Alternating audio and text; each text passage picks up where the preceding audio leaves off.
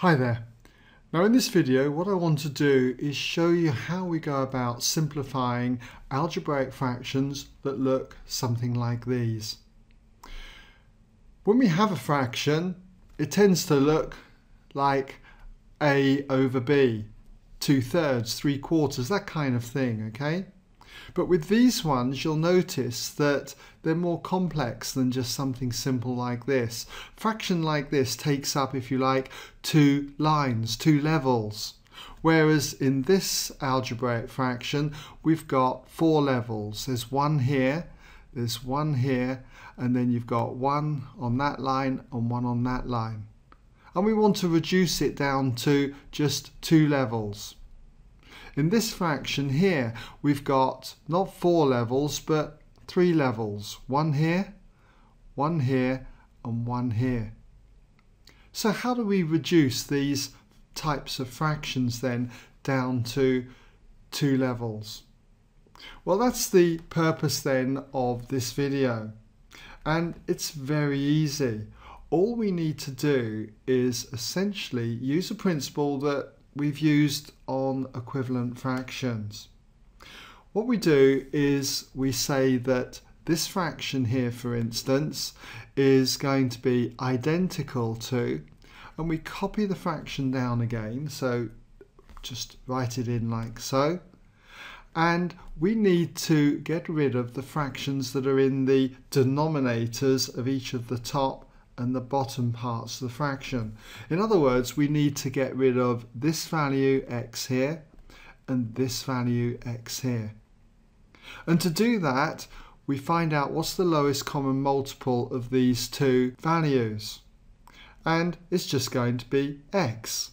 So we multiply the top of the fraction by x and we multiply the bottom of the fraction by x.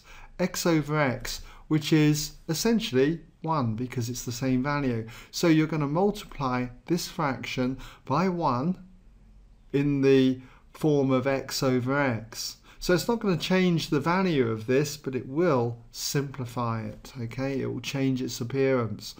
And what we get is x multiplied by this first term here, x, which is x squared.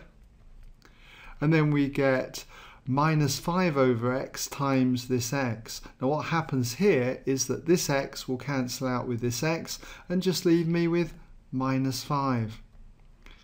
And then I've got my division line and now we just multiply at the bottom of the fraction here these two terms with this x.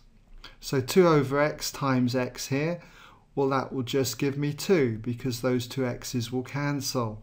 So we'll have 2. And then when we come to minus 3 times x, we're just going to get minus 3x. And there you have it. We've got a fraction now that takes up two levels. Now I'll move across to this one here because in this fraction we've got three levels and to simplify this we'll just put that it's identical to We'll copy that fraction down again. And this time we just need to get rid of the y. So we'll circle that if you like, not that you have to, but I'm going to now multiply top and bottom of the fraction by y.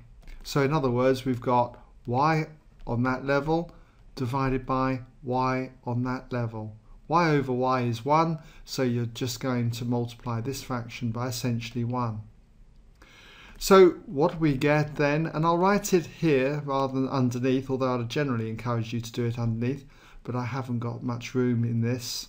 So we'll have 3 times y, which is 3y, and then this is all divided by 1 times y, which is y, and now you've got x over y times y and those two y's would cancel just leaving you with the x. So you've got y plus x.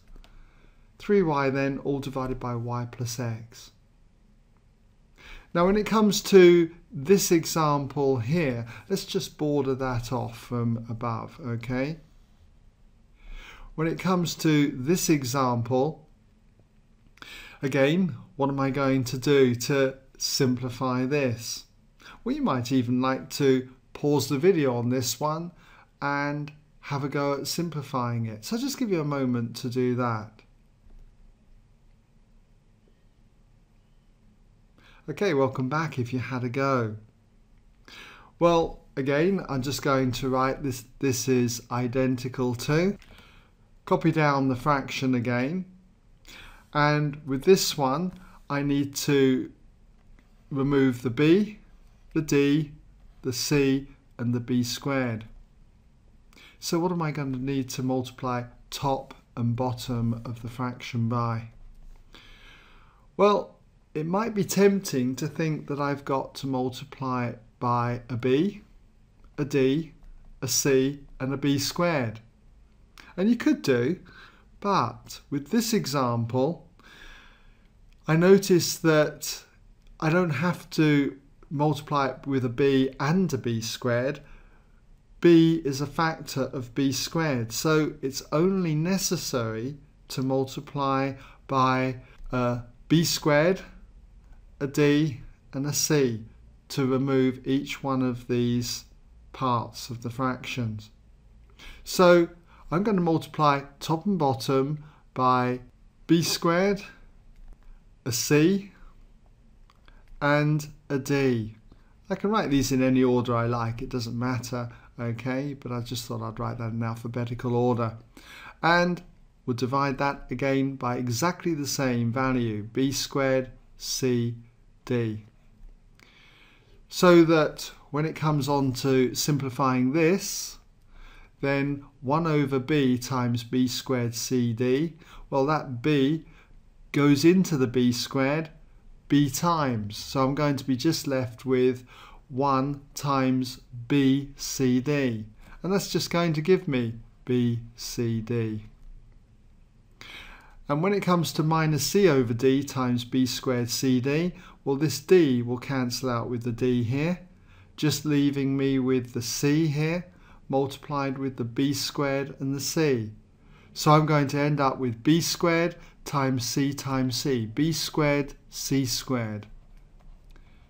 And then this will all be divided by and then we take E over C multiply it with B squared CD this time the C will cancel out into the C here leaving me with B squared D and I need to multiply it with the E so I end up with E B squared D. So just write that in E B squared D and lastly, for this term here, minus 2 over b squared, I'm going to have a minus. And then the b squared will cancel into this b squared, just leaving me with cd. So I've got 2 times cd, which will be the 2cd. So hopefully you can see with this one, I only needed to pick b squared because the b went into the b squared. I didn't need to pick b cubed for my value here and here. Okay, so I could leave it like that, but it looks better if I check out if I can factorize the top and the bottom. And I can because on the top I've got common factor of BC. So I'm going to pull BC out as a common factor and that leaves me with just the D minus and then BC here. And all of this is divided by and in the denominator here I can pull out again a common factor. This time it's d. So I've just got a d bracket and then I'm left with eb squared or I could reverse it round and write it as b squared e to write it in alphabetical order and then I've pulled out a d so that just leaves me with minus 2c and there you go now I've got this last one, x all over x plus 1 plus 1 divided by 1 plus x over x minus 1. So again, you might like to have a go at trying this. So just give you a moment then to pause the video.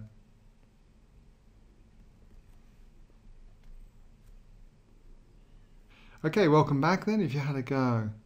So again, just put that this is identical to, copy down the fraction, And this time I need to get rid of the x plus 1 here and the x minus 1 here.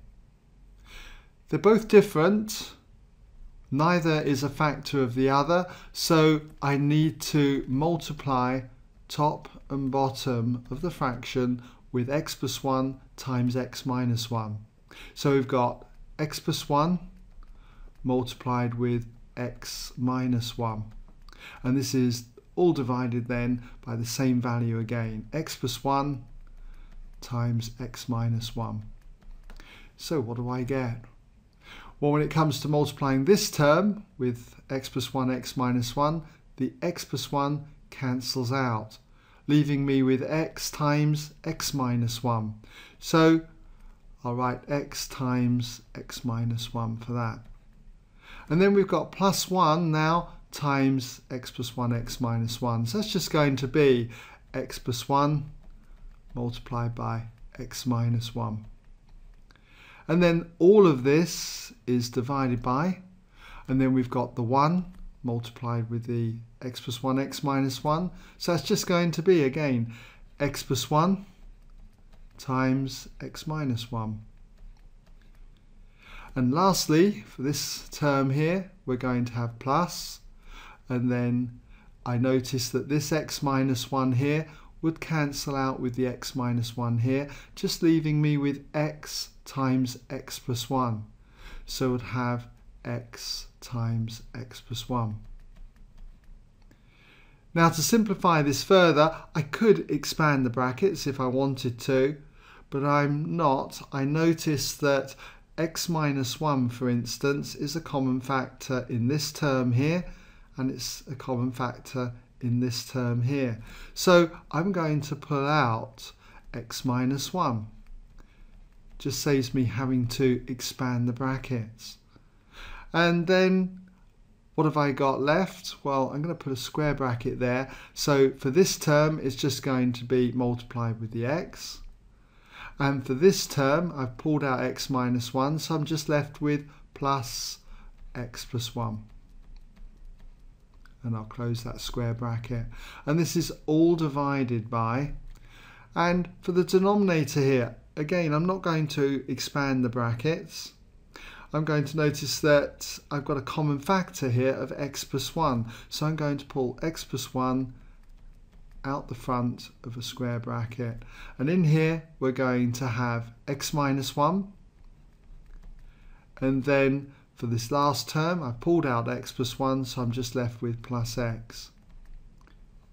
And I can simplify this further. I've got x minus 1 on the top and inside this square bracket I've got x plus another x which is 2x and then I've got plus 1 and then that's all divided by the x plus 1 here. And I've got x plus x which is 2x and then I've got minus 1 so if you did expand top and bottom you'd have got quadratic expressions which would then have factorized to these anyway. So it's up to you which method you take, but I do prefer this one. Okay, well I hope that's given you some idea then how we go about simplifying what I call stacked fractions.